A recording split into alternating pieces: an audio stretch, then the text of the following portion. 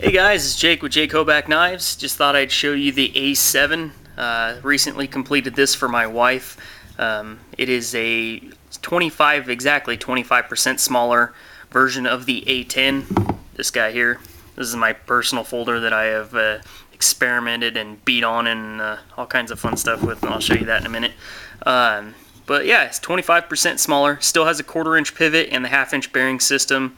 Um, custom clip, carbon fiber bolster lock on both sides. So milled out the insides here and added in the carbon fiber titanium backspacer. Um, the blade is about two and a half inches or so, and the handle is probably three and three quarter, about there. I honestly don't know. I never really measured it. Um, but yeah, figured I'd show you that. And it fires like a little rocket. It's like a switchblade. Um, and I just did a belt finish on this. Normally I'll hand finish or hand sand these out, and but my wife liked the belt finish on that.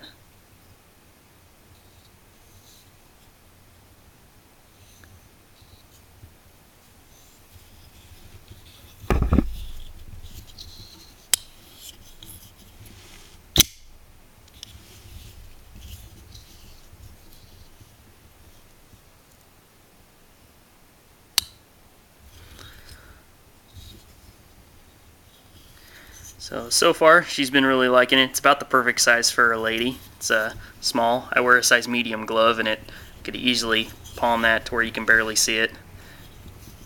And it fires nice, so she enjoys that. She likes a good flipper. If I can keep her to, if I can get her to carry an automatic, she would. But there she is. Uh, the A10, this is the original from the Terminator series that I did with uh, Alpha Hunter, uh, Chad from the board. Um, this is um, one that I had messed up on, so I'd been modifying it and been carrying it and just all around just beating on it and testing it. Um, as you can see, it's got dents along the spine because I was pounding it with a hammer, a framing hammer, through a bunch of 2x4s that I needed to split when I was building my house. Um, it's all got all kinds of random experimenting holes. This right here is just an experiment that I need to pull back out and get this thing working again. I pulled the D10 out.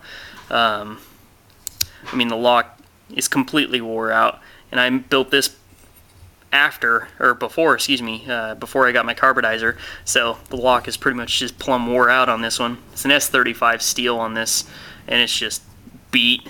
But so far it's been holding up. I've been uh, not nice to this thing, besides using it as a pry bar, which uh, broke the head of the pivot off, or the head of the screw on the pivot off. I just needed to replace that, but yeah, so don't stab it through a wall and try to hang off of it. That may break it off, seeing as how they're only 256 screws. I don't don't think that they're meant to hold uh, 185 pounds. So there she is.